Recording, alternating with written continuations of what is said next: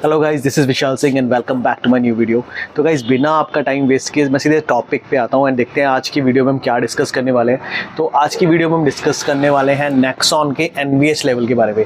ये नेक्सॉन का space version है एंड आज हम डिस्कस करेंगे कि इस कार में अब कितना एनवीएस लेवल रह गया है, कितनी वाइब्रेशन कितना नॉइज़ आपको देखने को मिलता है इस न्यू नेक्सॉन फेस में। तो पहले मैं सबसे पहले करता हूँ कार स्टार्ट एंड फिर देखते हैं कि कितना वाइब्रेशन और कितना नॉइज़ हमें फील होता है इस car okay so let's start the car first and फिर दिखाता हूँ मैं आपको कि कितना एन लेवल रह गया अब इस कार में। ये नेक्सॉन का न्यू फेसिट वर्जन है। पहले कार स्टार्ट करते हैं एंड देन देखते हैं क्या एन लेवल अब का इस कार में आपको देखने को मिलता है। uh, पहले म्यूज़िक स्टॉप करो यार। ओके सो गाइस कार अभी स्टार्ट है आइडल पोजीशन पे है। कैबिन नॉइज़ आप सुन सकते हो। ये कैबिन नॉइज़ आ रही है? अभी मैं बाहर से दिखाता हूँ आपको कि बाहर से कितनी नॉइज़ है।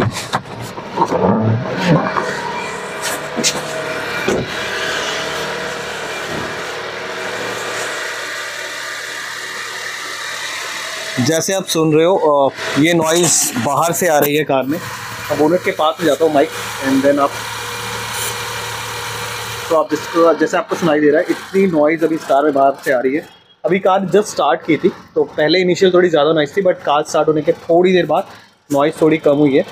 तो अभी करंटली इतनी नॉइज़ आ रही है इस कार से।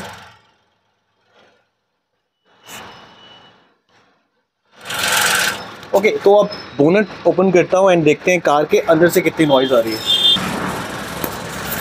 ओके okay, तो मैंने बोनट ओपन कर दिया इसका एंड अगर आप जैसे देख रहे हो तो माइक और पास आता है।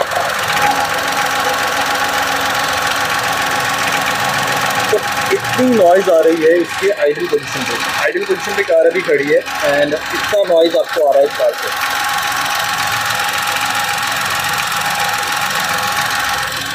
इंटरेस्ट में गाइज़ ये जो नॉइज़ है ना ये पहले के कंपैरिजन में कम हुई है। पहले इसका इंजन ज़्यादा नॉइज़ करता था, अब पहले के कंपैरिजन में थोड़ा कम हुआ है but still three cylinder engine है तो आपको वो नॉइज़ वाली इशू तो देखने को मिलेगा ही कार में। एंड वो अभी भी है बट पहले के कंपैरिजन में थोड़ा कम है। बट ये कहना कि यार बिल्कुल नॉइज़ ख़त्म हो गई है, वो बिल्कुल गलत है। नॉइज़ आपको मिलेगी थ्री सिलेंडर इंजन है तो आपको वो नॉइज़ देखने को मिलेगी ही मिलेगी। अब एक काम करते हैं अब देखते हैं, इसका करते हैं, इसमें कितना वाइब्रेशन रहेगा तो एक वाइब्रेशन टेस्ट करते हैं, उसके लिए मेरे पास एक कप है, इसमें हम वाटर डालेंगे। एंड मैं इसके इंजन में रख के देखूँगा कि इंजन के अंदर से बोनट ओपन होने के बाद कितना वाइब्रेशन है इस कार में। एंड वही चीज़ अब फिर हम कार के अंदर जाके भी चेक करेंगे कि अंदर कितना वाइब्रेशन इशू आपको देखने को मिलता है। तो सबसे पहले मैं इसको रिफिल करता हूँ एंड देन फिर इसको प्लेस करके देखते हैं कि कितना वाइब्रेशन है। ओके इसको वाटर तो मैंने फिल कर दिया है, अब इसको मैं प्लेस करता हूँ यहाँ पे एंड देखते हैं कितना वाइब्रेशन आपको इस कार में देखने को मिलेगा जैसे आप देख रहे हो, आप गिलास अपनी जगह पे रुक ही नहीं रहा तो ये वाइब्रेशन आपको यहाँ देखने को मिल रहा है। ये इंजन के ऊपर है। यहाँ पे साइड में प्लेस करके देखते हैं, शायद यहाँ पे मिल जाए तो जैसे आप देख रहे हो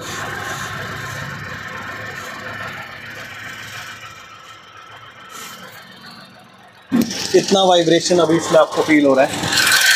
जो कि अगर मैं कंपेयर करूँ बाकी फोर सिलेंडर कार के अकॉर्डिंग तो काफ़ी ज़्यादा है। तो अब जैसे देख रहे हो, ये वाइब्रेशन तो हमें इसके बोनेट में इंजन में फील हो रहा है। अब कार के अंदर चल के देखते हैं कि कार के अंदर कितना वाइब्रेशन है। तो हम आ गए हैं कार के अंदर एंड जैसे अगर आपको फील हो रहा होगा कैबिन नॉइज़ आप सुन सकते हो, कितनी कैबिन नॉइज़ आ रही है। कैबिन नॉइज़ आपको ज़्यादा कार के अंदर इतनी नॉइज़ फील नहीं होगी। एंड देखते हैं वाइब्रेशन कितना है इस कार के अंदर। तो मैं सबसे पहले इसको यहाँ पे प्लेस करता हूँ। तो जैसे आप देख रहे हो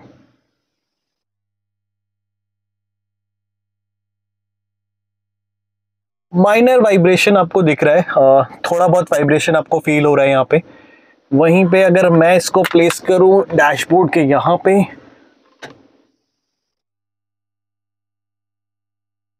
तो मिनिमल वाइब्रेशन आपको फील हो रहा है यहाँ पे भी। एंड uh, वहीं बात करूँ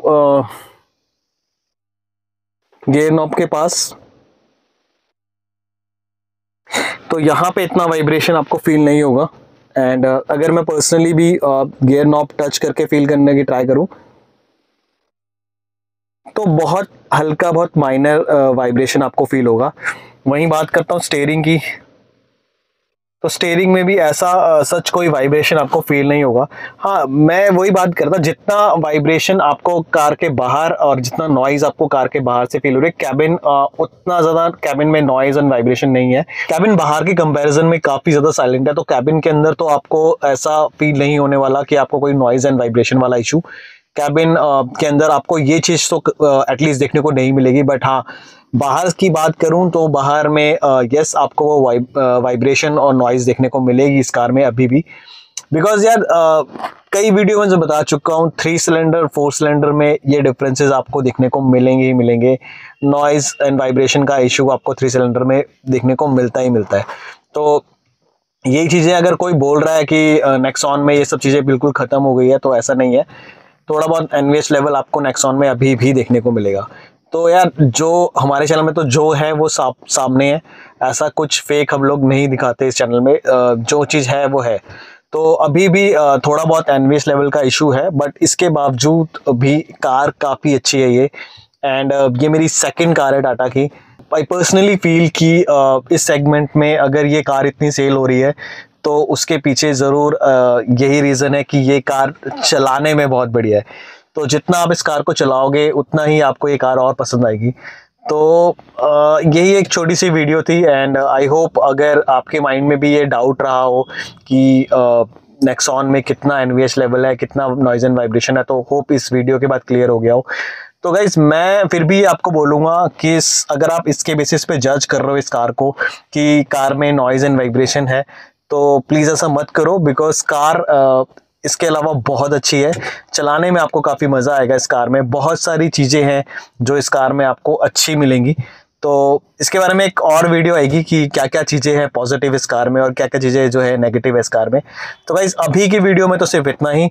मैं मिलता हूँ आपसे नेक्स्ट वीडियो में। बट अगर आप इस चैनल में नए हो तो प्लीज़ सब्सक्राइब करो channel and like to this video आपका एक लाइक ना बहुत मोटिवेट करता है हमारे को और अच्छी वीडियोस बनाने के लिए। तो गाइज़ अगर आपको वीडियो पसंद आ रही तो प्लीज़ लाइक करना ना भूलिए। तो गाइज़ इस वीडियो में तो इतना ही। मैं मिलता हूँ आपसे नेक्स्ट वीडियो में। तब तक के लिए बाय